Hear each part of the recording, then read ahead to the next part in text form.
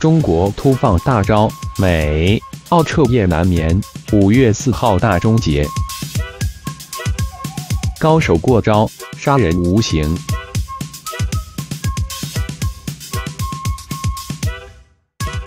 正当各方在叙利亚鏖战之际，中国突然出手了。郑、坚、会、新闻、发、言人高力宣布，将从二零一八年五月四号起，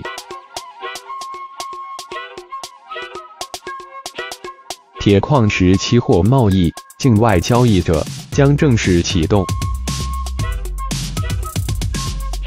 一句话，以人民币结算的铁矿石期货全球化贸易正式启动。消息一出，石破天惊，中国是世界上最大的铁矿石进口国。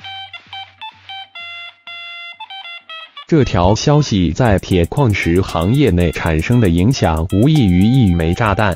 这是在三月二十六日启动人民币结算石油期货以来，再次就中国进口大宗商品启动人民币结算的期货贸易，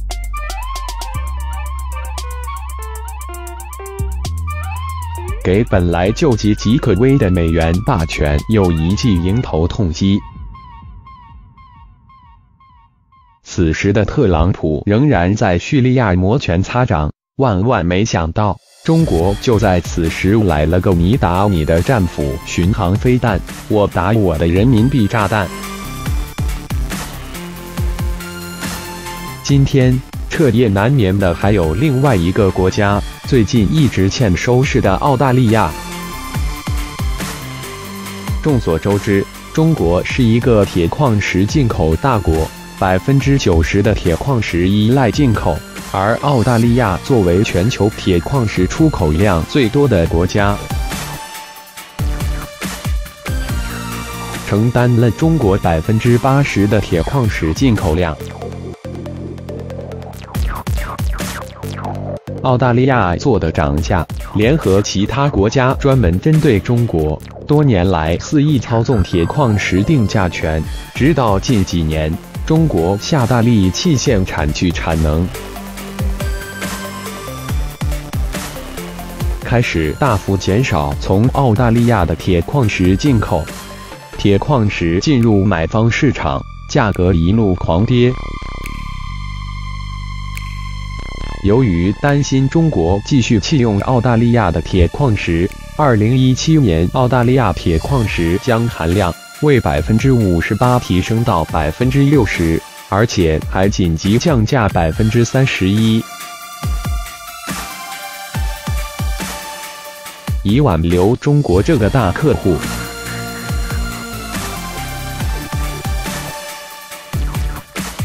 随着中国继续去产能和铁矿石期货国际化业务正式推出，中国醉翁之意不在酒，将铁矿石的价格牢牢的攥在自己手里。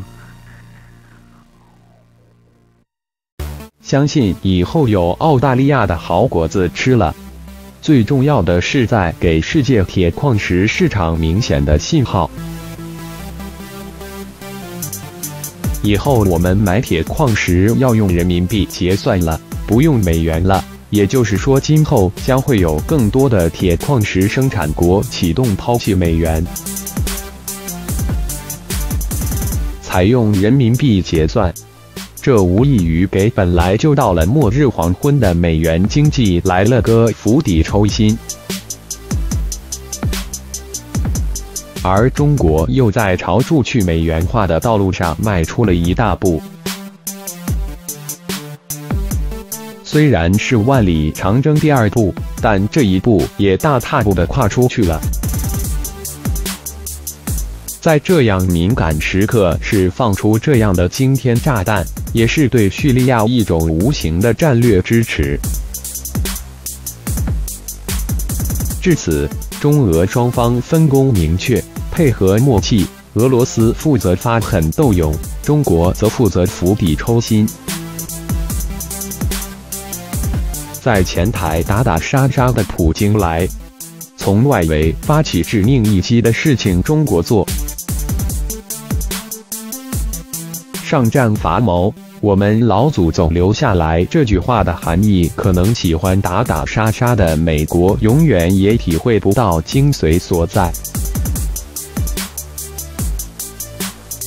大家想想，你以为美国的高福利是大风刮来的呀？都是靠美元霸权捡全世界羊毛捡来的。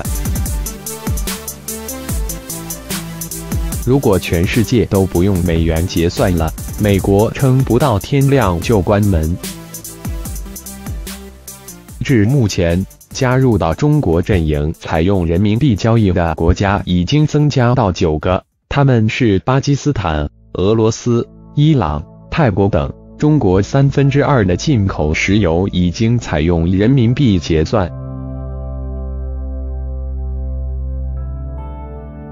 而对美国的盟友沙特，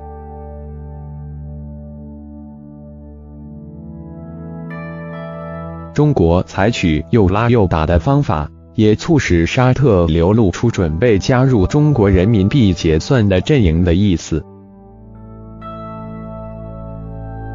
四月十号，中国突然大幅减少从沙特进口石油，转而在俄罗斯进口，既是支援俄罗斯对抗强敌，也是在提醒沙特赶快加入人民币结算吧，要不以后就不要你家的油了。在当前经济总体疲软的买方市场支持。世界最大的石油进口国是任何一个产油国家不敢忽视的。在中美贸易大战之际，中国在三月二十六日果断推出石油期货，令美国恼羞成怒。此时此刻，中国在叙利亚局势紧张之际，突然又推出铁矿石期货贸易，更是一种态度。无论你美国反对不反对，都无法阻挡中国去美元化的步伐，无法阻挡人民币走向世界的步伐。中国原来业主藏主地的战斗力突然如开挂一般，变得咄咄逼人，招招致命。感谢美国这么多年的敬业陪练。把中国逼成一个如此优秀的对手，今天中国就是用这种方式正告美国：既然我把你当朋友，你却把我当敌人，对不起，别怪我手下无情了。